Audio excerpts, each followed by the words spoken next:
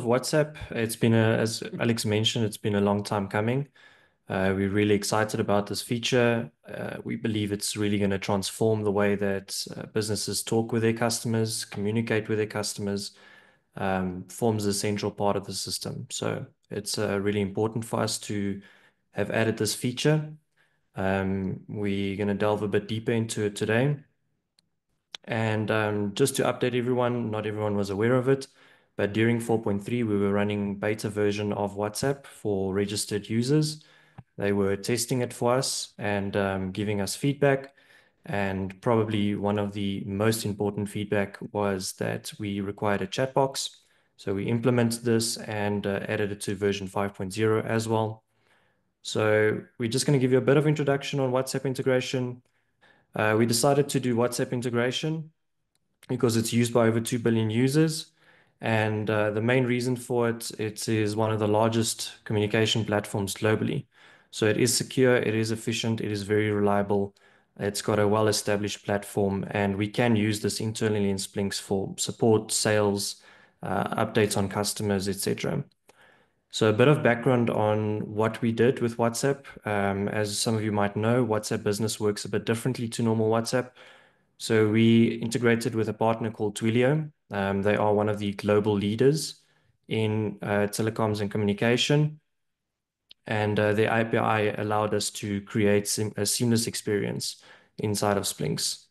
So it doesn't matter whether you're just sending a quick message or tracking an entire conversation, um, everything is very smooth and reliable. Just a quick note on Twilio's pricing model. So from Splynx' perspective, we have decided to make this features uh, free available to everyone. Um, Twilio does, however, have a usage-based fee uh, which is tracked according to our conversations. So conversations are tracked and classified into a few different categories. And this is not just Twilio's rules, but also WhatsApp and Meta's rules. But it does still keep the cost very flexible and uh, it makes it very affordable for ISPs, one of the most affordable communications platforms. So just to quickly run through the configuration. So first of all, you are going to register a Twilio account. Next, you're going to upgrade your account to a paid Twilio account, which is around $15. So it's not too much. And then uh, apart from that, you'll obviously be billed on the usage. And then lastly, you'll link your WhatsApp business account through the Meta business process.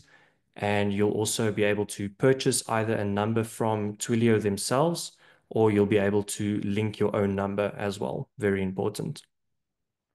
And that's it. That's the registration process through, uh, through Twilio. And lastly, you'll just set your configuration inside of Splynx, which is just four fields. So we will be covering now the main features and key components of, of WhatsApp.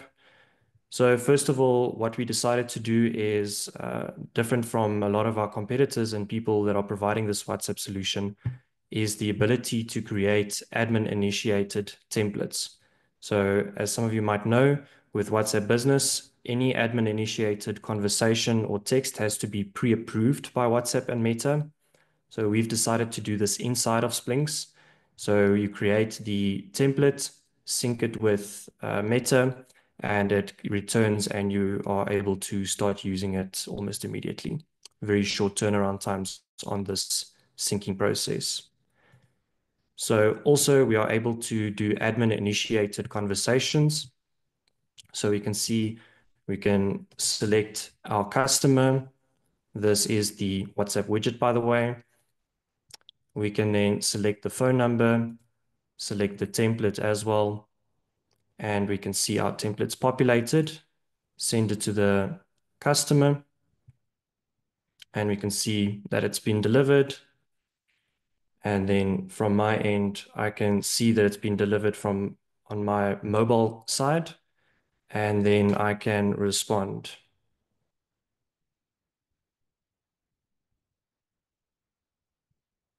So I can respond and we can immediately see this conversation flowing back and forth.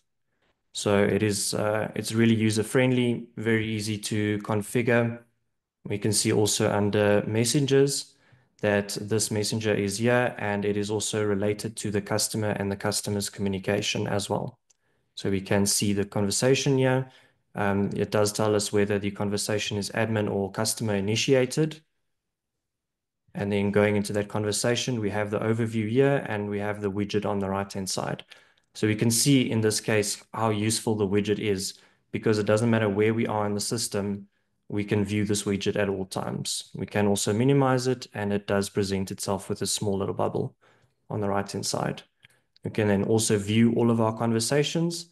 So it does show me all my conversations, but I can also, from a support perspective, view all unassigned conversations as well if I want to track and uh, respond to those. Then next, as we saw, we can receive uh, replies back from the customer. We are also focusing on assigning conversations. So when we look at our modules, we have auto assignment of conversations. We can auto assign it to multiple administrators and then also give them a email notification on any new conversations that come in. We also can view any sort of new messages that come through. They will pop up in three different places. So firstly on the chat widget, next any new messages will show as a bubble on the messengers icon.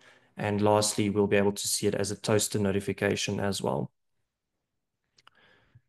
Then just to focus quickly on uh, WhatsApp business rule that conversations will be closed after 24 hours after the last response. Um, and that is just a rule that they've implemented that uh, we followed as well. But it is very easy because we have admin initiated templates to just use a template to respond to the customer, or from the customer's perspective, they can just reopen by replying to the conversation. So next, we can also link specific um, messages to tickets. So we can say create a ticket. So from this message, uh, create a formal ticket as we know how help desk has been working. And we can also link this to existing tickets of the user. So here we can link it as a test ticket and you can see here that it has been linked and the link actually does show. So we can go directly from the message to the ticket where it will show as a private note. And then from here, we can go back to the message as well on the customers tab. And throughout all of this, our widget remains open and available uh, wherever you are in the system. Okay. Um, next, we are handling unknown senders as well. So this is a scenario where you might not have uh, admins or sorry, or a customer's phone number in the system. So it could either be that you have an existing customer, but someone else in the household is uh, messaging us and this number doesn't exist in the system, in which case under unknown senders, you can link an unknown sender to a existing customer and all conversations past and future will be linked to that customer. Alternatively, the second scenario is where it is a lead or a customer, which is important for our sales process, where you can actually create a customer or lead from this conversation. And it will pre-fill the, the name, the phone number, um, as much details as we can, and you can create a customer or lead from this conversation. So we are also focusing on constantly improving this product as well. So um, a few features that are on the horizon is also shifts. So shifts we are aware of that obviously if uh, there's multiple shifts across the different times and um, those, those messages should be reassigned. We are also currently developing shifts um, that will be for WhatsApp, for tickets, and possibly for tasks as well. So we're currently designing that for the next release of Splynx. And also we are able to handle multiple content types as well. So you can, so far we've seen that normal messengers come through quite uh, quite easily, and we can send photos from the customer side as well. So yeah, I've sent a photo now to this conversation. And we can see there's a photo that I just took. Very importantly, we can also send GPS locations. We can send documentation as well. So PDFs, contracts, documents can all be sent across WhatsApp as well in terms of attachments. And then lastly, and possibly the most importantly, is we can send uh, locations as well. So locations, I've already sent a location here a bit earlier.